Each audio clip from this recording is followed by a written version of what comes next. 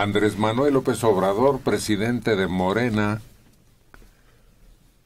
informó que grabó mensajes de radio y televisión que serán transmitidos en tiempos oficiales antes de que nos borren o difuminen como pretende la mafia en el poder. Bueno, pues esta es respuesta de lo que dijo Manlio, que promueve una reforma para impedir que aparezca su imagen en los medios de información. López Obrador ha dicho que denunciará ese atentado a la libertad y la democracia ante organismos internacionales de justicia y de derechos humanos, he dicho. Oye, ¿y si ganaran las próximas elecciones el del copete güero ese Trump y López Obrador? Uy, que dieran el campanazo porque parece que no les va mal en su promoción candidateados. Pues sí, fue muy criticado Trump por sus declaraciones islamofóbicas, que le llamaron. Dijo que no se permitiera la entrada de un solo musulmán más como inmigrante a Estados Unidos y pues la comunidad musulmana que es importante allá señala que es una minoría los los terroristas que ellos son buenos americanos el problema es que es en su seno en donde el virus del, extremismo florece sobre todo entre los jóvenes. Bueno, pero no me contestaste que ganaran esos dos candidatos. Pues sería muy improbable. ¿Improbable? Pues yo creo que la moneda está en el aire. Yo creo que cada quien levantaría su muro. Trump en Estados Unidos el suyo, López Obrador eh, aquí el nuestro.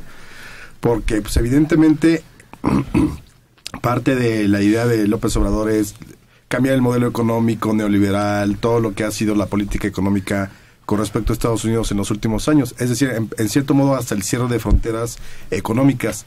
Y Trump, por otro lado, también trae la idea de los no migrantes, este, impedir el paso a los mexicanos que entren ilegalmente. Entonces, yo creo que sería una etapa dificilísima en, en las relaciones internacionales entre México y Estados Unidos acuérdense de los ejemplos que nos están dando Brasil, Venezuela, Argentina, en donde, bueno, Grecia incluso. Guatemala.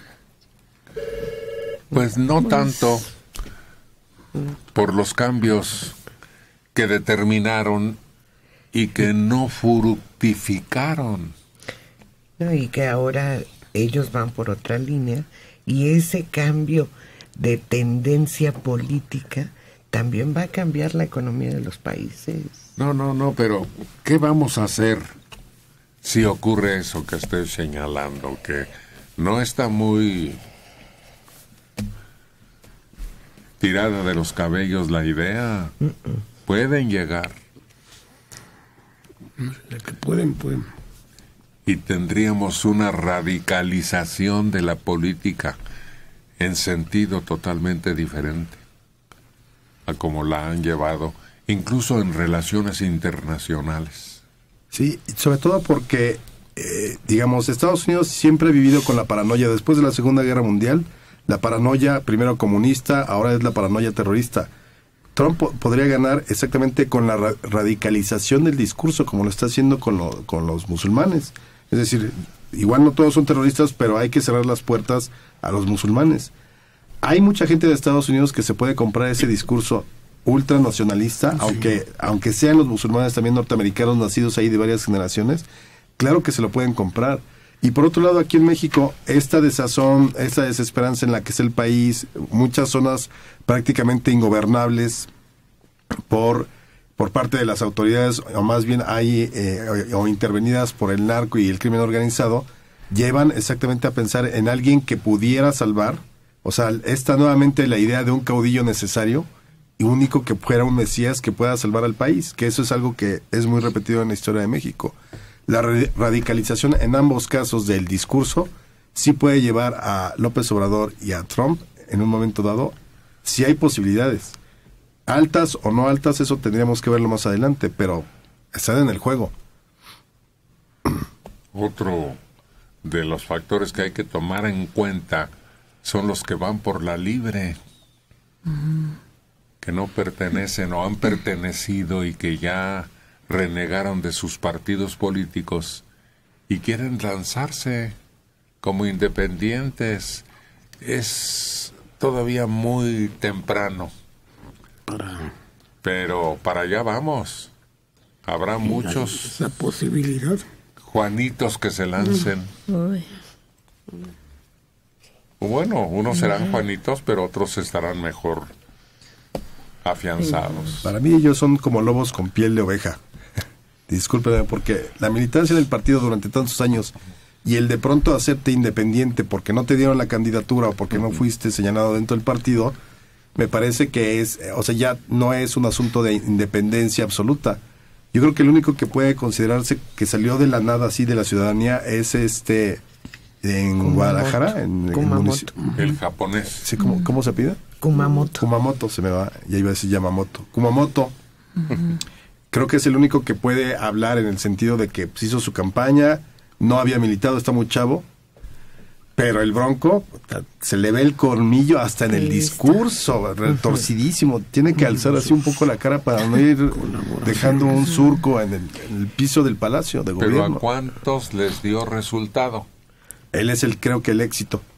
No, no, no.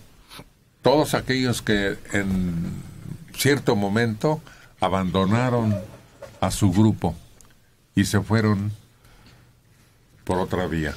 Y, sí puede haber varios, porque en Guadalajara se reunieron y abren, ofrecen ellos un panorama así como muy viable, muy fácil de recorrer, pero sin partidos. El único que se inclina por las instituciones es precisamente Kumamoto. Pero los otros no, los otros dicen que ese es el camino. Pero nos tendría que pasar como en Venezuela, donde ganaron todo. Si no ganamos el Congreso, no nos importa que el que dirija sea de donde sea. No va a poder hacer nada, porque el PAN cuando gobernó quería hacer algo y el PRI no lo dejaba. Ahora el PRI quiere hacer algo y el PAN no lo deja, aunque sea lo mismo. Mientras vivamos en ese rencor político de el no por el no, no vamos a salir adelante. Aunque llegue López Obrador, no va a contar con... No va a hacer nada. una mayoría en el Congreso sería muy difícil. De 61 años, Rogelio García Hernández. Se nota que con respecto al comentario de generalizar que el panel es priista, yo pienso que Héctor y Mario, sobre todo por sus constantes comentarios, son liberales masónicos. y siempre hablan por consigna no son priistas, son algo más ácido. Y eso se demuestra por los años que tienen en la radio. Bueno, sí, yo, yo desde luego soy más radical de lo que parezco aquí en el, en, el discurso. Pero entiendo la situación del país y entiendo que se escuchan mejor argumentos que busquen las causas de las cosas que lo que a mí me gustaría ser que fueran. Y yo lo que pienso es que abran los ojos y los oídos y por sus hechos los conoceréis, no por lo que digamos aquí vamos a cambiar la situación, atenuarla o agravarla. Además, no sé si usted ha ido a alguna eh, tenida masónica o se ha enterado de qué hacen los masones ahora. Eh, es increíblemente absurdo. Se ponen a hablar de la sexta raza raíz y, la Atlántida y una serie de, cosas inauditas. es, en eso se están preocupando. Su control de la política se desvaneció con López Mateos. Y mucho antes. Para mí, yo desde el 19 ya. Con Porfirio Díaz acabó la masonería como influencia. Que, eran masones. ¿Pero entonces no eres masón? No, no. no, pero sí he asistido a las, a las reuniones. Ah. Tengo familiares masones, pero lo son porque creen en estos eh, eh, arrebatos místicos. Yo soy seguidor de Lom Sam. Del tercer ojo. Ese mero. Primero, ni segundo, ni tercer ojo.